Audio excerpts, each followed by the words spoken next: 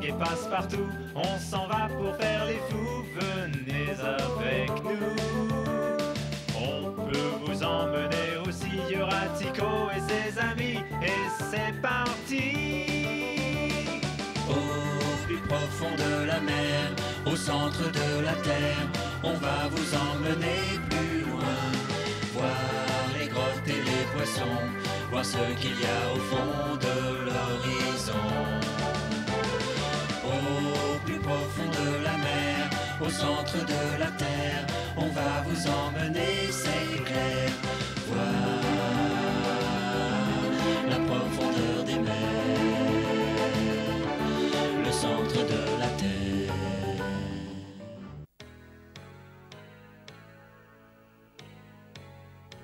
À bord du Abraham Lincoln, nous pourchassions le terrible monstre des mers. Nous avions été attaqués par une baleine furieuse, mais Ned, le harponneur, avait réussi à nous en débarrasser. Ensuite, Monsieur Fogg et moi, on avait dû subir les assauts d'un troupeau de requins rendus fous furieux par l'appât qu'on destinait au monstre. Enfin, un soir, on aperçut celui qu'on cherchait depuis des mois. Euh, Pendant qu'on parcourait les océans, nos amis du Reform Club suivaient notre progression en lisant les articles que Ralph, notre ami journaliste, envoyait régulièrement au Morning Chronicle. Sauf erreur, le navire sur lequel Phileas et ses amis ont embarqué devrait se trouver. Euh... hmm, Voyons un peu. Ici. Ah Lord Guinness Avez-vous entendu les dernières nouvelles concernant Phileas Fogg? Le commandant de l'Abraham Lincoln a fait savoir à ma compagnie que Monsieur Fogg et son équipe étaient sur la piste du monstre qu'il avait enfin aperçu. Vous en êtes sûr? Mais c'est très intéressant. Je ne suis pas si optimiste. Cette mission n'est pas sans danger. Je n'ai pas envie qu'ils deviennent les prochaines victimes du monstre. Je ne me le pardonnerai jamais. Alors, alors, mon cher ami, vous connaissez Phileas mieux que moi. Il s'arrange toujours pour se sortir des situations les plus périlleuses. J'aurais peut-être dû les accompagner. Je me demande où ils sont. Ce suspense est insupportable.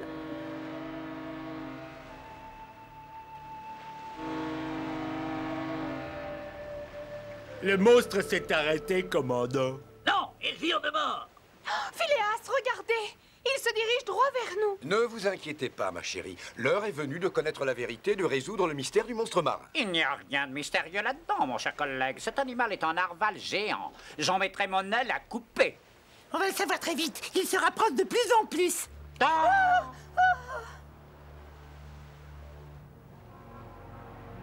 Commandant, il s'est encore arrêté. C'est le moment de lui montrer qui commande ici. Carlo demande au chef mécanicien de pousser les machines à fond. On va le provoquer un peu. À vos autres, commandant.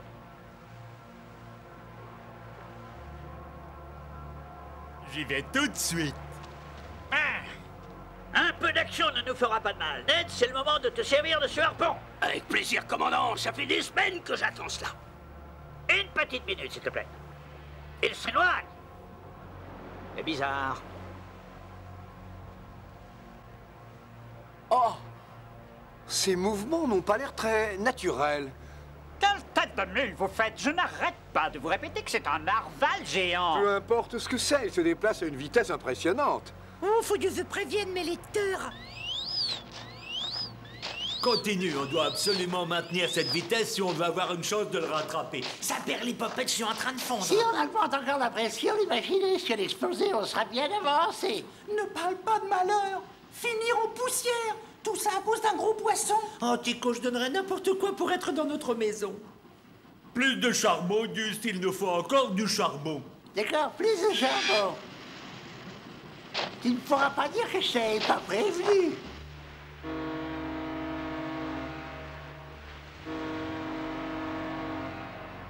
Regarde, Ned, j'ai l'impression qu'on se rapproche de plus en plus. Tiens-toi prêt, il sera bientôt à portée de tir. Ne vous inquiétez pas, commandant, je rate jamais ma cible. Regardez, messieurs, on dirait qu'il fait surface. Mais vous avez raison. Attention, Ned.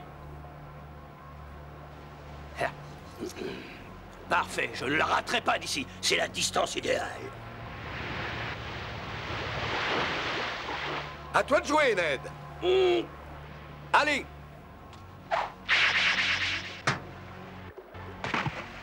C'est impossible. Aucun animal n'a le cuir assez épais pour résister à mon harpon. Je ne vois qu'une explication, ça n'est pas un animal. Vous devez sûrement avoir une idée derrière la tête, monsieur. Je ne suis pas tout à fait sûr de moi, mais j'ai l'impression qu'on va vite connaître la vérité. Hé Hein Je suis désolé, mais on est à court de charbon. La situation est très grave. Ça perd les popettes, on est en pleine mer et on va devoir se laisser porter par les Nous avons encore un peu de temps devant nous. Le monstre a encore plongé, je ne le vois plus. D'abord, il nous fait dépenser toutes nos réserves de charbon. Et maintenant, il veut jouer à cache-cache. Je sais pas vous, mais moi, je commence à en avoir assez de ce monstre. Chut Parle moins fort, Tico. On n'entend plus rien. Tu grogneras plus tard. On dirait qu'il a plongé très profond. Oh, j'espère qu'il est loin d'ici. J'ai aucune envie de finir dans son estomac.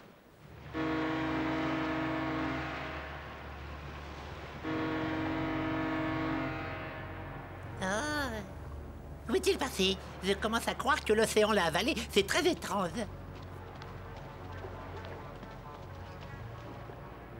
Phileas, vous avez l'air inquiet. Je vous l'avais dit, Fogg, le narval est une créature très intelligente. Il n'est pas facile à pêcher, hélas.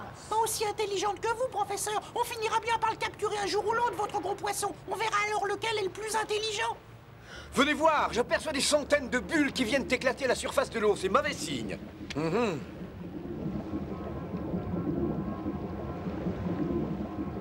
Je ne voudrais surtout pas vous affoler, mais il semblerait que notre ami soit sous le bateau. Hein?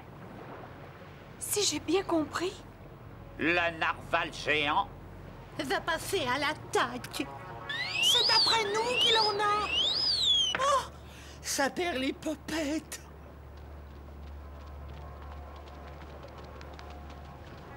Ah, où peut-il bien être? J'ai du mal à croire qu'un poisson aussi énorme puisse rester invisible. En tout cas, moi je suis pas pressé de le revoir, il me terrifie. Regardez de ce côté-là, vous ne voyez rien Cette lumière n'est pas naturelle. Juste là-bas.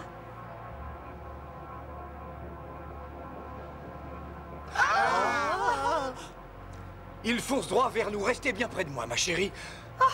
Il agit exactement comme s'il voulait nous éperonner. Si jamais il réussit à percer la coque du bateau, nous sommes fichus On ne peut rien faire pour l'en empêcher. Qu'est-ce qui m'a pris de quitter le cirque? J'étais si bien. Cette lueur est plus forte que n'importe quel projecteur de notre cirque passe partout. C'est pas normal.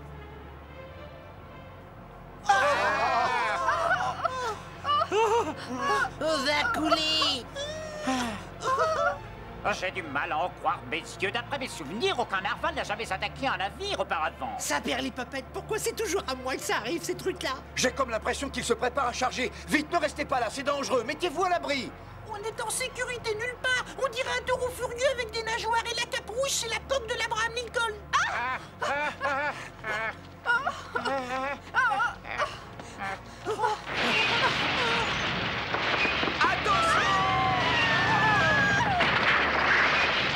Je donnerais n'importe quoi pour être dans mon lit en ce moment.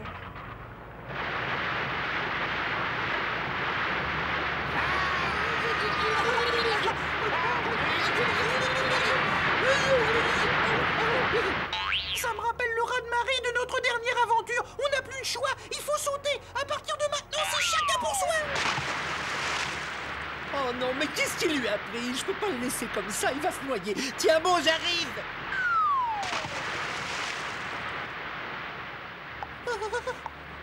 L'eau est encore plus froide je le pensais. Je tremble de la tête aux pieds. Je vais attraper un rhume.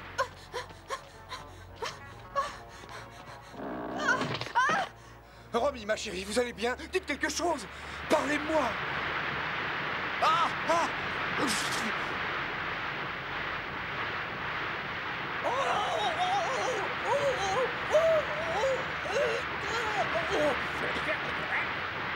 Écoute-moi bien, mon gros, tu ne me fais pas peur, tu peux être sûr que je vais finir par t'avoir. Commandant, l'eau a envahi la salle des machines, le navire est en train de couler. Vous devez monter dans l'un des canottes de sauvetage avec les hommes. Pas question. Je suis le commandant de ce navire. Si l'Abraham Lincoln doit couler, je coulerai avec lui. Mais vous deux, vous n'avez rien à faire ici. Allez-vous-en, faites descendre les chaloupes, c'est un ordre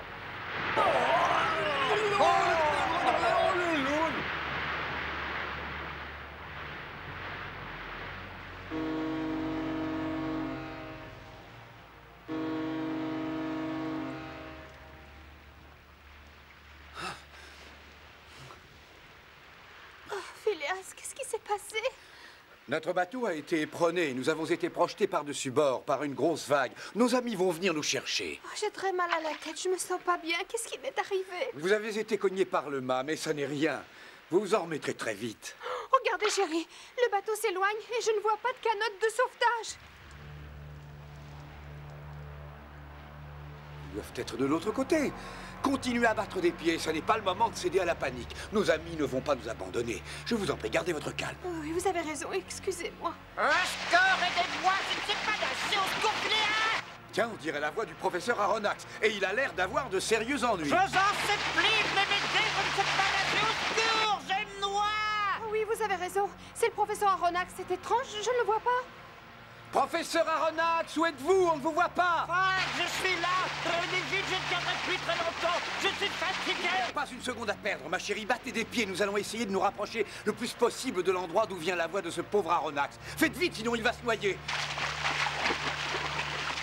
N'en peux plus, les bras Dépêchez-vous, femme Vous êtes ma dernière courage Tenez bon ah, ah, ah, Je crois que ma dernière heure était arrivée. Soyez le bienvenu sur notre radeau de fortune, cher professeur. Vous m'avez sauvé la vie. Je ne sais vraiment pas comment vous exprimer ma gratitude. J'ai une dette envers Tu veux bien rester tranquille, Carlon Si tu n'arrêtes pas de bouger, je ne réussirai jamais à bander ton bras correctement. Je vois vraiment pas pourquoi vous vous donnez toute cette peine, commandant. Il y a un incendie sur le pont, le gouvernail est cassé et on dérive. Écoute-moi bien, Carlo. J'ai besoin de tous les hommes valides pour réparer les dégâts et nous sortir de là. Je peux pas m'empêcher de penser à ce pauvre monsieur Fogg et à tous ses amis. Ils sont tous passés par-dessus bord. Nous devrions commencer tout de suite les recherches. Tu as raison, mon ami. Moi aussi, je suis très inquiet. J'espère seulement qu'on n'arrivera pas trop tard.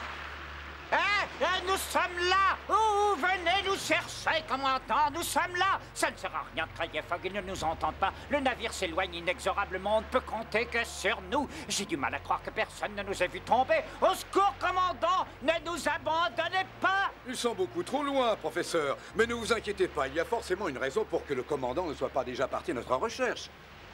Vous vous sentez mieux, ma chérie Vous êtes moins pâle. Oui, ma tête me fait moins souffrir, mais je ne peux pas m'empêcher d'être inquiète.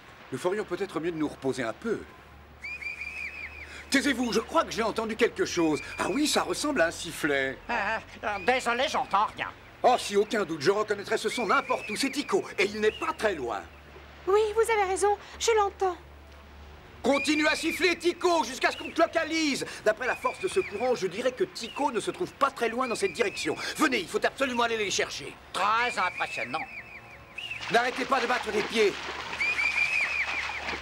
On se rapproche. Le sifflement est de plus en plus fort. Encore un petit effort, Romy, on y est presque.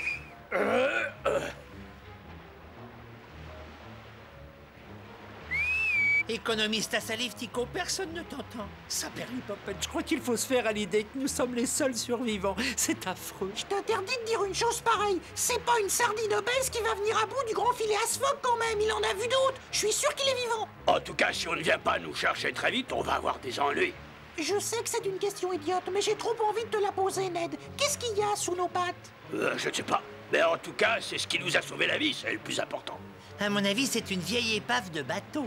Du moment que c'est pas le dos du monstre marin, ça m'est égal. Oh, je t'en supplie, Tico, ne plaisante pas avec ces choses-là. C'est déjà assez dur de ne pas savoir sur quoi on se tient debout. J'imagine le pire. Je devrais plutôt lui être reconnaissant. Je préfère être là-dessus plutôt que d'être obligé de nager dans cette eau glacée. Maintenant, si ça ne te fait rien, je voudrais continuer à siffler. On sait jamais, quelqu'un pourrait m'entendre. Tico, où es-tu? Ça alors, c'est Monsieur Fogg. J'arrive pas à le croire, il est toujours vivant, formidable. Qu'est-ce que je t'avais dit, Passepartout? Il est increvable. Monsieur Fogg, vous nous entendez? Nous sommes là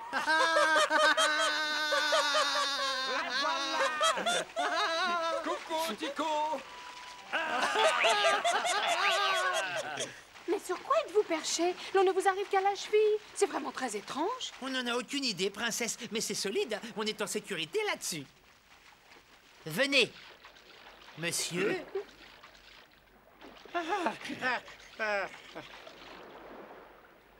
Hmm, Qu'en pensez-vous? C'est difficile à croire et pourtant, je jurerais que c'est un genre de métal. Ça expliquerait pourquoi mon harpon a ricoché dessus. D'habitude, la flèche transperce n'importe quelle sorte de cuir. Oh, Phileas, le sol trempe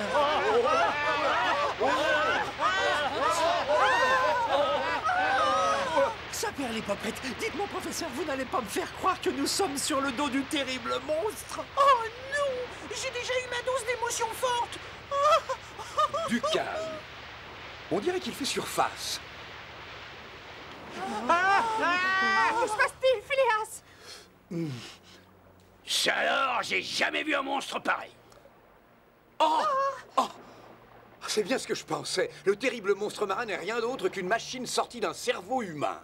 Ça, Perly Poppet, j'avais raison tout à l'heure. Nous sommes bien sur le dos du monstre qui a éperonné le bateau. Pas de panique, Passepartout, ce n'est pas un monstre, mais une machine Pour moi, c'est exactement la même chose. Tu ne comprends donc rien. Si c'est ça qui nous a attaqués tout à l'heure, imagine un peu sa réaction quand il va se rendre compte que ses ennemis sont tous sur son dos. Je te parie ma paye qu'il va être furieux. C'est incroyable, Fogg. J'ai du mal à croire qu'un homme ait réussi à inventer une machine qui se déplace sous l'eau. Il doit forcément y avoir une porte ou un hublot. Ça ne fait aucun doute, professeur, mais ils doivent être bien cachés parce que je n'en vois nulle part. Euh, on doit pouvoir pourtant entrer à l'intérieur. Ah, Si jamais cette chose décidait de plonger à nouveau, on serait condamné à périr noyé. Oh, oh. Ne vous inquiétez pas, ma chère, je ne crois pas que ce soit leur intention. Oh Sapristi Reculez Attention Laissez-les-moi, j'ai déjà eu affaire à des pirates dans le passé, ils comprennent seulement que le langage des poings. Quelle aventure extraordinaire. J'ai hâte de voir à quoi il ressemble. Chut J'entends des bruits de pas.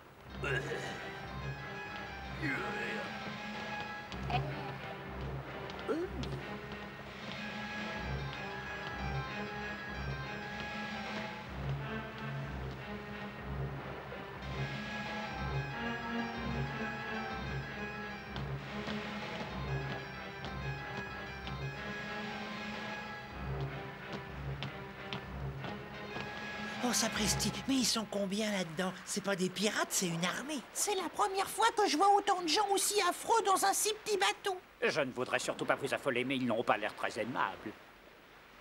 Bien le bonjour, messieurs, ça va? Je me présente, je m'appelle Phileas Fogg et eux, ce sont mes amis. Nous étions à bord de l'Abraham Lincoln quand vous nous avez éperonnés. Le choc nous a projetés par-dessus bord. Faites un pas de plus et j'aplatis vos deux museaux avant que vous ayez pu dire ouf Merci Ned, mais je crois que nous devrions coopérer. La violence ne nous mènera nulle part. Maintenant, écoutez-moi attentivement, messieurs. Dites à votre chef qu'on ne lui veut pas de mal. Oh non, j'ai l'impression qu'il veut qu'on descende à l'intérieur de ce monstre de métal. Ça me déplaît autant qu'à toi, mais je crois pas qu'on ait le choix. Ça n'est pas le moment de discuter, les enfants, et puis je vous avouerai que je meurs d'envie de voir cette magnifique machine de plus près. J'ai hâte de voir comment elle fonctionne. Bien. Faites exactement ce qu'ils nous disent de faire, il ne vous arrivera rien. Suivez-moi J'ai un mauvais pressentiment. On dirait une grosse boîte de conserve. Du moment qu'ils n'ont pas l'intention de nous enfermer dedans pour toujours. Ne me touche pas, tu veux Je suis assez grand pour descendre à cette échelle tout seul.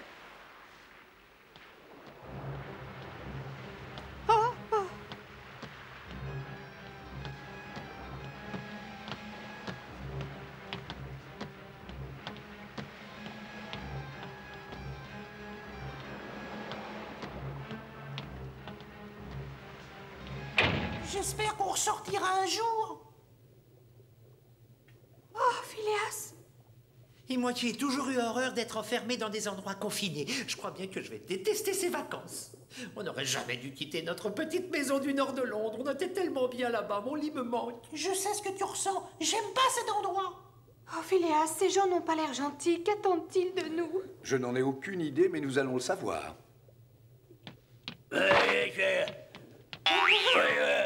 Euh, euh, arrête, c'est de la folie. Reviens, ils sont trop nombreux.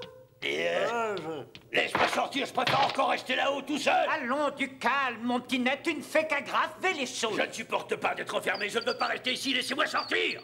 Ouais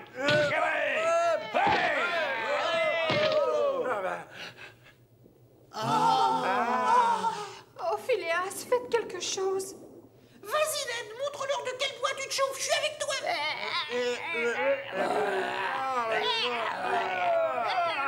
Lâchez-moi, imbécile Je veux sortir, vous n'avez pas le droit de nous retenir prisonniers Laissez-moi Je t'en supplie, Ned, calme-toi. Tu vas finir par nous attirer des ennuis. Écoute-le, Ned, il a raison. On peut peut-être discuter avec ces gens et trouver une solution satisfaisante, mais avant, tu dois te calmer. Très bien, très bien, je vous promets de ne plus leur taper dessus, mais je vous préviens, je ne resterai pas ici très longtemps. Comptez sur moi pour m'évader de cette boîte de sardines. Euh. Suivez-moi. Je viens avec toi, mais je te préviens, si jamais tu me pousses, je t'arrange le portrait. Je viens avec toi parce que ça me fait plaisir et pas parce que tu me l'ordonnes. Euh.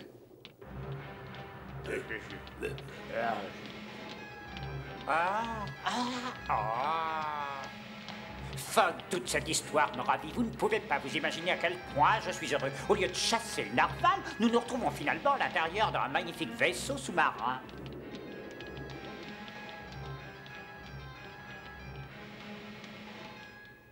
Mission accomplie, capitaine. Nous les avons tous récupérés. Maintenant, on les conduit à leur cabine. Aucun problème majeur.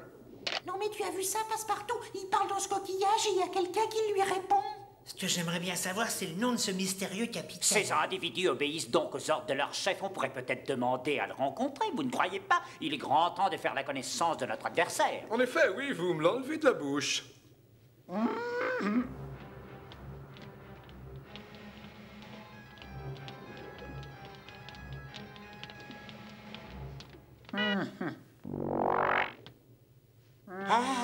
Ah, très.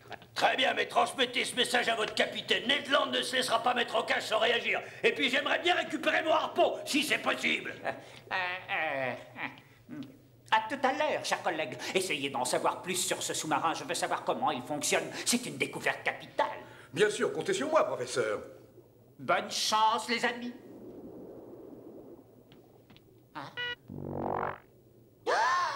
Ne vous inquiétez pas, chérie. Pas ici, s'il vous plaît. J'espère qu'ils vont pas nous jeter en pâture au requin. T'as pas peur, toi? Je me moque pas mal de ce qui peut nous arriver du moment que je reste avec toi, mon copain.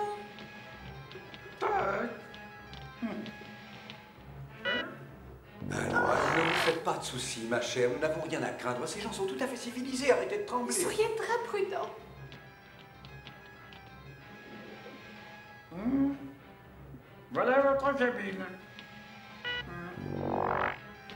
Voulez-vous dire à votre capitaine que Phileas Fogg insiste pour lui parler le plus vite possible?